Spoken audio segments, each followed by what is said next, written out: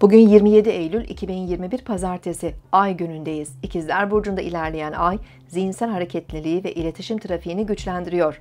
Bugün yakın çevremizdeki kişilerle daha fazla görüşebilir, birçok haber duyabiliriz. İlgi duyduğumuz alanlarda bilgi toplamamız, okumamız, kültürel gezi ve seyahatler yapmamız mümkün. Zihinsel yaratıcılığımız artabilir ve birçok ilginç fikir üretebiliriz.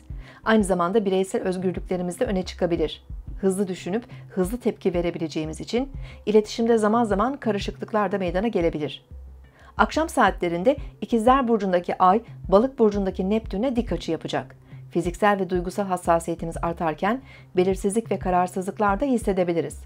Duygusal iniş çıkışlar yaşayabileceğimiz akşam saatlerinde estetik, güzellik, sanat ve romantizm gibi konularda belirleyici olabilir. Bazı duygusal problemlerimizde yakınlarımızın desteğini almamız mümkün. Sağlığımızla ilgili konularda hassas olmalı, beslenme, uyku düzeni, ilaç ve alkol kullanımına dikkat etmeliyiz. Gece saatlerinde iç dünyamıza yönelip tefekkür etmek faydalı olabilir.